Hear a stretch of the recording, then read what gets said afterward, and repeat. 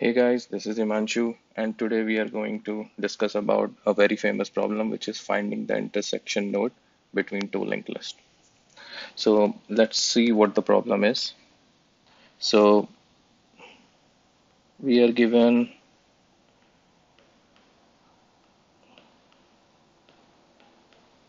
two linked list, and suppose this is our first linked list, and this is the head of our linked list.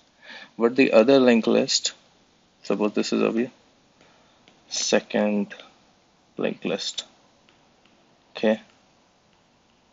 Now the catch in the problem is that somehow you have implemented to these linked list and you know the last node is pointing to null in linked list. But somehow this last node of the last linked list. Rather than pointing to null it started pointing to the node of the first linked list. Right so now you have two different linked lists which are actually intersecting at this node. And after that they both are pointing to the same number of nodes which are these. Right so we'll be given the input. In the input will be given the heads of these two linked lists and they might be intersecting with each other in this fashion or they might not be intersecting. Like they could be two different individual linked lists right? So what we have to do if these linked lists are intersecting in this manner we have to find this intersecting node and return it. So basically what we have to do we have to identify the node at which these two linked lists are being intersect and then uh, what the other thing we can do we can actually we will be asked or we could be asked to remove this link. So what we have to do we have to again make them separate right? So we have to in this problem identify this node. Or could be any other node. If this would have been pointing to this one then we would have been like would have been asked to identify this one right? So this is the problem so I would like you guys to pause the video and think about the solution, like how you're going to find this intersecting node in these two linked list. There are two different solutions to this problem. One is the optimized one and one is basic solution. I think you guys should be able to come up with the basic solution at least. So basically you have to find out a node which is common between these two linked lists, the first node which is common between these two lists right? So I think you might have got the hint. So pause the video and see how you can solve this problem. Okay so my I hope you guys might have found the solution of the problem. So let's discuss what solution we have for this problem. So let's draw some list here and the other list here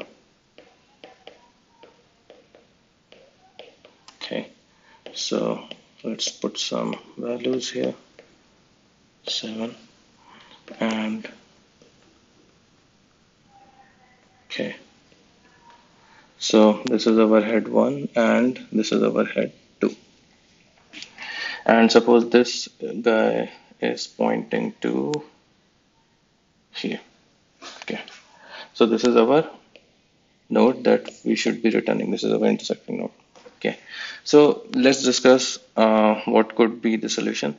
So first solution is very simple. As you guys know we have to find the first common element between these two lists right? And whenever you have to find uh, the commonality between two different entities what do we do? We can use the set right? So that's what we'll do. We'll use set here. So suppose this is our set. And rather than creating set here because it creates the confusion. Let's suppose this is our set. Okay. So what we what we'll do first we will traverse this complete list and put all the elements inside the set. So one two three four then another element will be five six seven.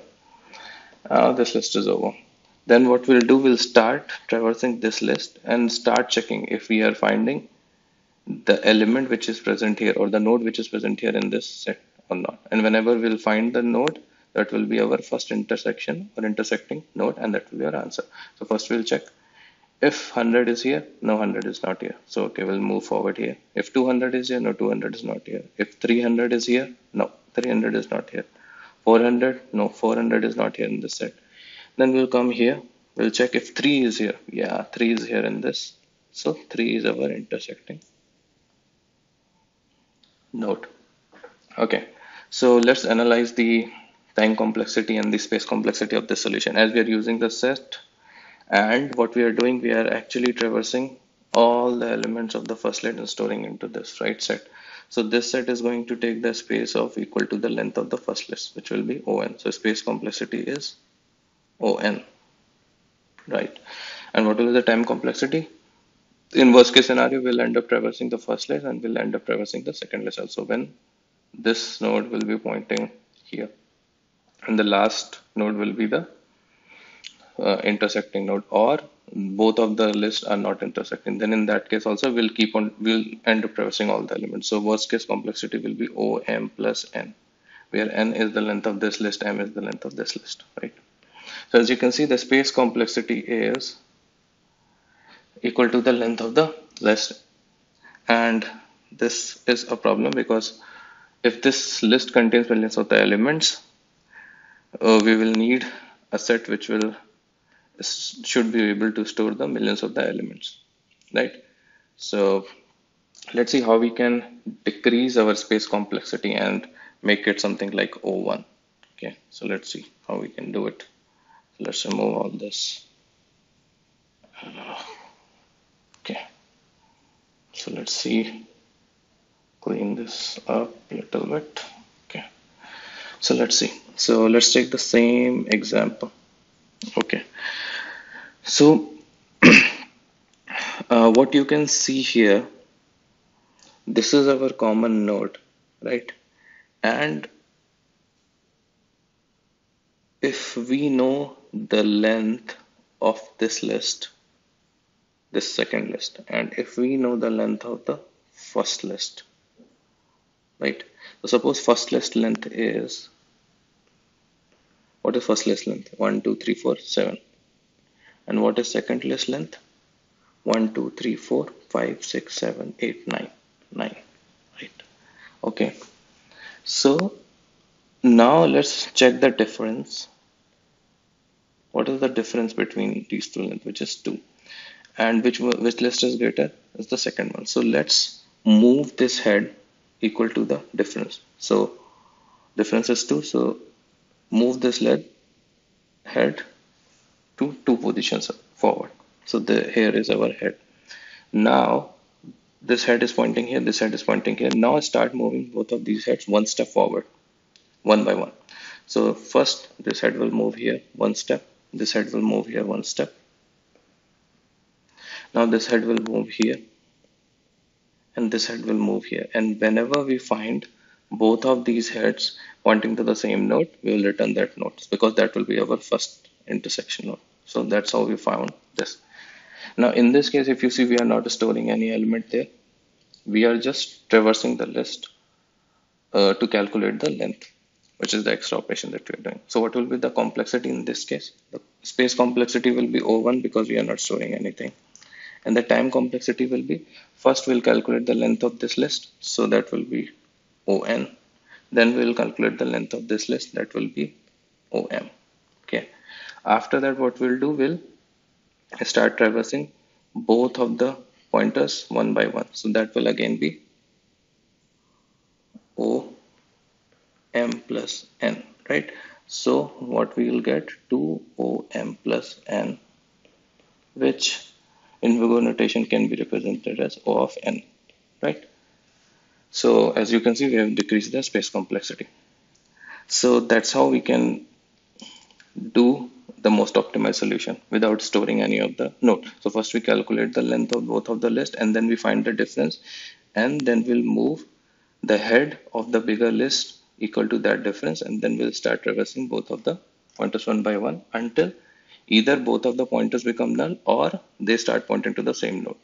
If both of the pointers become null, that means there is no intersection. Like in this case, if we remove this then then so uh, first of all our length of the second list will become 4 and the first list will have 7 so the difference will be 3 and we will move this head by 3 element right? So our head will be here.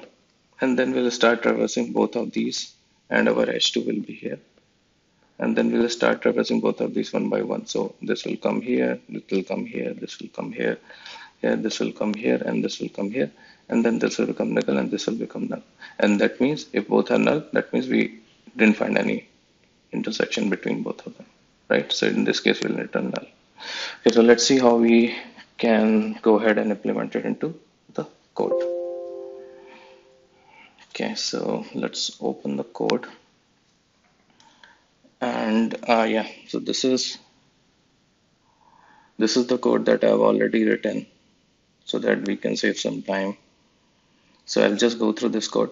So so here as you can see we are getting two inputs head 1 and the head 2 and this is the case in this is the corner case in which you know head 1 is null or head 2 is null in that case if any one of these are null that means there is no intersections will return null then here I am calculating the length of the first list, then length of the second list. And then as I told you, we are finding the difference between the length of both of the lists. Now, what we have to check, if the difference is greater than zero, that means the list one is greater in length. That means we have to move head one equal to the difference. But if difference is less than zero, that means list two length is greater than list one so we have to move head two so that's what i'm doing and then decrementing diff so that we move it equal to uh, until or unless the diff becomes zero now what we have to do we have to move both of the heads one by one and also start checking if both our heads are pointing to the same node or any one of them or both of them are becoming null, right? So whenever these two conditions will not be, any, any one of these conditions not be satisfied, we will go out of the loop. Otherwise, we'll keep on moving both of these heads one by one to the next nodes. And at the end, we will just return head 1 or head 2 depending upon if head 1 is equal to null that means there is no intersection right? So we will return null which will be head 1 and if and if uh, head 1 is not equal to null that means we have found the intersection node so we'll return head 2 so that's all for this program. Let's go ahead and run this program. So let's run this program. So so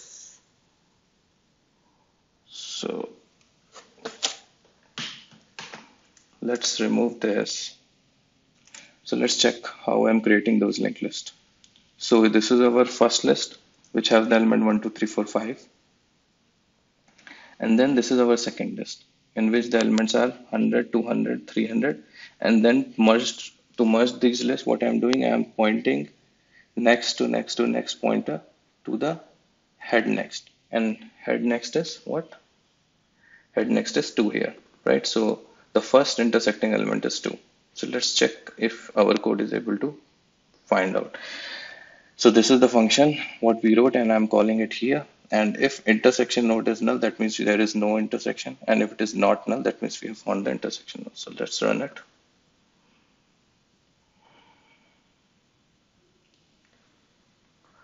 Okay, so this is our first list and this is our second list.